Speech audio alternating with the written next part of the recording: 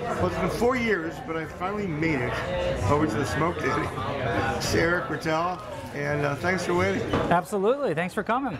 Well, it's definitely worth the wait. Um, you're known for your ribs, but um, this is a real smokehouse. This is a real smokehouse. Yep. When you go into a barbecue place, if you don't smell smoke, you're not in a true barbecue restaurant. So when you see those Alto-Shaams in the back, that means they're just holding the ribs, not cooking the ribs? Well, I don't know what you'd have Alto-Shaams in the back for, but a true barbecue smokehouse has a huge smoker in your kitchen. Okay. Well, that's just something to think about. Um, not in their front yard, but in their kitchen. Okay, so here we are, and we've got a setup here. Uh, why don't you just tell us what we got? Well, uh, obviously what we have here is the baby back rib, the king of the of the ribs. Uh, this is actually a two-pound rib. We use a larger rib than most smokehouses uh, because we feel like the ratio of bone to meat to fat enables us to smoke it the entire way, finish it in the smoker, uh, and also get a tender product when it's done. So these are number two, two pound ribs? These are two. This is a two-pound rib, which is a huge rib, but you just get a better product coming out of the smoker.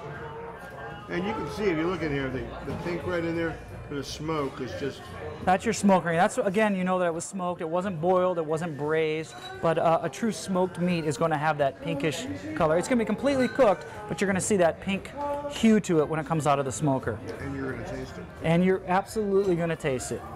All right, we're gonna move on. Don't you just take a quick walk in the kitchen? We watched you to take a brisket out before. Okay. Um, you carve a brisket and take out some ribs? Sounds good. about what, what you do with that brisket.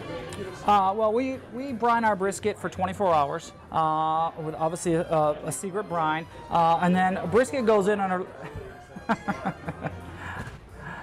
well, I can't tell you. I like you. Come on, come on, come on. Just tell me. Well, obviously you've got a little salt, a little sugar, Salt, sugar, go ahead. a little smoked paprika, and that's all I can give you. Okay, go ahead. Uh, for the brisket, really good, man. thank you. Brisket gets uh, 14 hours in our smoker. We do it at 225 degrees overnight, 14 hours, fully smoked all the way through. You know, obviously the, the saying about barbecue is low and slow, and that's what you've got to do when you've got something like a, a large piece of meat like a brisket Now, in your you're smoker. talking barbecue, smoking, Smoking. you're not grilling. William's not touching it. No, You're not braising it in oil. You're not braising in oil. You're not using liquid. It's a dry heat. Smoking is a dry, by definition is a dry heat technique. Okay, so that means that you obviously need to make sure that you have a um, a fat content in your meat that's going to hold up, so you don't end up with a product. You can see these ribs were smoked for six hours, but they're extremely tender and they're extremely moist. You can see that right there. They're falling. pull right off the You're pulling them off the bone. Just, one, just in case. That's great. Great. So now our ribs, uh, the baby back rib, again, locally sourced. We only use local products. We buy them from Wichita Packing down the road. They've been in business for over 40 years. We use uh, hogs from Iowa, Indiana, Illinois. Um, so it's important for us to use the local source. We bring them here, again, uh, Secret Rub, our Mojo Rub, developed in-house. Uh, and then you're uh, in the smoker for six hours. Again, low and slow. We use a combination of apple, hickory, and cherry wood in there. Decent And blend. what temperature? Again, 225? Two, uh, 225 for the brisket. We go up to 250 for our ribs. A little warmer, okay. little, little bit warmer. The brisket's going to be lower and slower because it's a larger piece. Ribs go in 250, about five and a half, six hours. Again, depending. Every rib is hand tested. We make sure that we look at every single rib when it comes out to make sure that it's done correct. Where do you get your wood from? Uh, Chicago Firewood, just down the I mean, road. local- Lo- local guy, right down the road. Halsted and Division. Tell me about this. What is this? Is mac Oh well, that's mac. That's mac and cheese. Uh, you know, a little bit of macaroni and lots of cheese, just the way mac and cheese should be. Let me tell you, when he says mac and cheese, he's talking cheese. That's right. It's cheese and mac. Or to rename that. Cheese and mac. All right. Let's see. Okay, go ahead. The, the next sandwich over there is. That's the brisket sandwich over there. We have a pulled pork sandwich over here we really talk about. Obviously, pulled pork, uh, it's a great product. We pull pork shoulders. Again, pork shoulders about 8 to 10 hours uh, in our smoker. A mojo rub, uh, and then in the smoker. Everything's in the smoker. All of our meats, uh, including our chicken, are all smoked. The brisket was secretly calling my name. Dave, eat the brisket.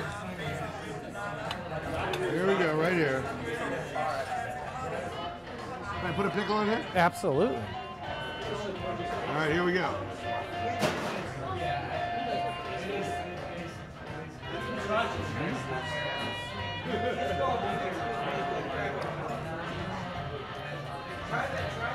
That's everything I expect. Good, good. And we have to talk about your. We got to talk about the beans. One of our signature items, and probably the, the only restaurant I know of that smokes their beans. We put our beans underneath the back ribs for four hours in the smoker. In, in shallow pans. So all the drippings off the back ribs fall into the beans for four hours, um, as well as all the brisket in there. Uh, you can really taste it in the product, and they're, uh, they're one of the best side items in Chicago. Keep going, baby. That was just unbelievable. Isn't that incredible? Yeah, never tasted beans like that before. Now, I happen to know, although you didn't bring them out, that you have some great wings. We have some great wings. Yep. Again, uh, true barbecue place. Uh, we don't deep fry our wings here. We smoke them. We uh, we cure them or, or we brine them and then we smoke them. You wait here. I'm gonna go talk to a couple of people here, but uh, have a beer, have some ribs, and Sounds good. I think I'll try these. Help yourself. We're here with this rowdy party for Ryan from Boston and his boys. How many times you come to Chicago? Uh, we come twice a year for the last six years. So what do you do when you come here? Uh, we uh, look for a great place for steak, but we found this great ribbon chicken place. You can't beat it. This is the only place to go. Hello, America. And a couple weeks ago we were at dinner, and he said, "Listen, if you ever want to like go to the greatest rib house in town, I know where it is." I, I of course had to ask him, where was it? What did he say? Smoke Daddy, absolutely. And I, and I said, "How often do you go there?" He said, "Probably twice a week. I live next door." What what is it you like here? What do you order when you come here? Uh, I probably get the uh, the baby backs full order when I'm feeling a little, you know, whatever, half order. But usually it's a full order of ribs, uh, full rack of ribs. Uh, depends on who I'm with. Maybe uh, uh, mac and cheese, maybe coleslaw, fries, the works. It's delicious. There you go. That's all you need to know. A little surprise you brought it. I, I knew it was coming. It's not really a surprise, but I've never tried that. Tell me what that is. Well, that's just our homemade banana pudding. You got to have banana pudding with vanilla wafers when you're in a barbecue restaurant. Nothing, nothing like uh, some pudding to cool you down after all that barbecue. Uh, well, while I'm eating that, why don't you just tell us a little bit about the special things that go on here, like your live music and. Well, Smoke Daddy's been around for 16 years. We're uh, on Division and Wood. Um, great thing about Smoke Daddy, it's a neighborhood barbecue joint. Uh, we're open for lunch seven days a week.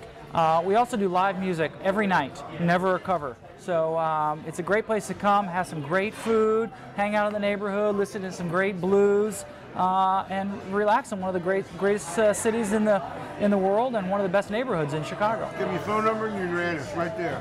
Phone number 773 772 6656. Smoke Daddy, 1804 West Division.